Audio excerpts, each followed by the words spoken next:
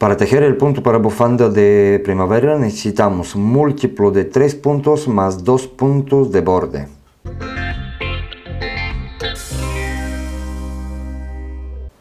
Bueno, en este caso he montado 23 puntos, que son 3 por 7, 21, más los 2 puntos de borde, 23. El punto es reversible y es de la serie brioche. Vamos a empezar. El primer punto lo tejemos en punto del derecho, pero ya sabéis, en el resto del tejido el primer punto más no se teje. Y vamos a continuar. Vamos a empezar primero tejiendo dos puntos juntos.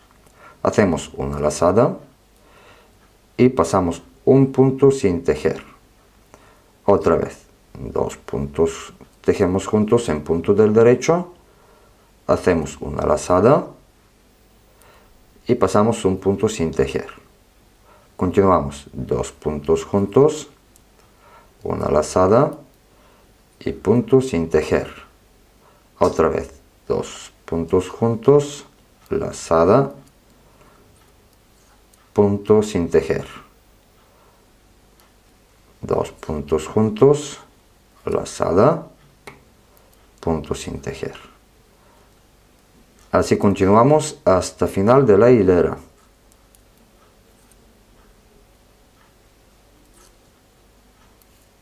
Terminamos. Penúltimo punto sin tejer, el último punto, punto de borde en punto del derecho. Vamos a dar la vuelta y en la segunda hilera o por la parte al revés de la primera vuelta vamos a tejer absolutamente lo mismo. El primer punto sin tejer. Lo pasamos y continuamos absolutamente en el mismo orden. Dos puntos juntos en punto del derecho, lazada, punto sin tejer. Dos puntos juntos, lazada, punto sin tejer. Así continuamos hasta terminar y la segunda hilera.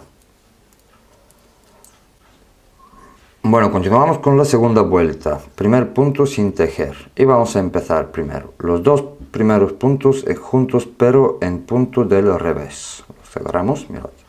Y dos puntos en punto del revés. Hacemos una lazada y pasamos el siguiente punto sin tejer, mirad. Con la lazada, el siguiente punto sin tejer.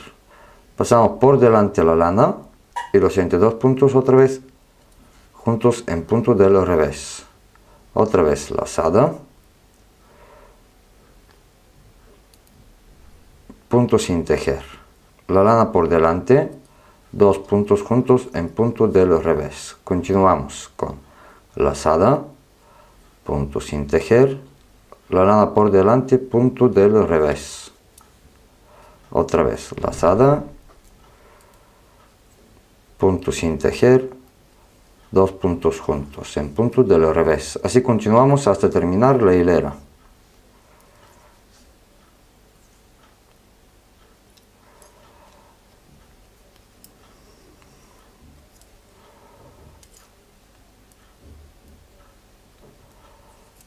Terminamos la vuelta, terminamos la hilera, otra vez lazada punto sin tejer, el último punto, punto del derecho, punto de borde. Bueno, vamos a continuar con la segunda hilera de la segunda vuelta y con la última hilera.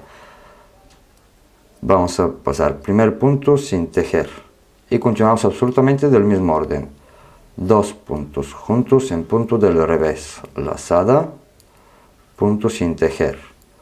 La lana por delante, dos puntos juntos en punto del revés, lazada, punto sin tejer, dos puntos juntos, lazada, punto sin tejer, otra vez, dos puntos juntos, lazada, punto sin tejer, por delante la lana, punto del revés, los dos puntos juntos, lazada, punto sin tejer dos puntos juntos. Así continuamos hasta terminar y la última hilera del motivo.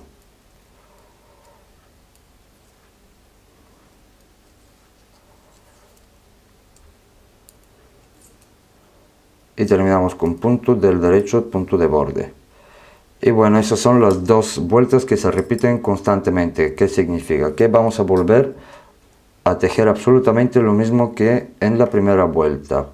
Punto sin tejer dos puntos juntos en punto del derecho. Lazada, punto sin tejer. Otra vez dos puntos juntos, punto del derecho, lazada, punto sin tejer. Así se repiten las dos vueltas constantemente y para enseñaros cómo queda la puntada voy a avanzar un poco. Bueno, y así es como queda el punto. Es absolutamente reversible. Por los dos lados queda absolutamente igual. Es un punto bastante elástico a lo largo, tanto a lo largo como a lo ancho. Y veréis que queda mucho espacio entre punto y punto, lo que le hace un punto perfecto para una bufanda de primavera. Espero que os haya gustado y cualquier duda que tengáis siempre podéis escribir en la página de Facebook o en YouTube, donde también os invito a suscribiros. Es gratis. Adiós.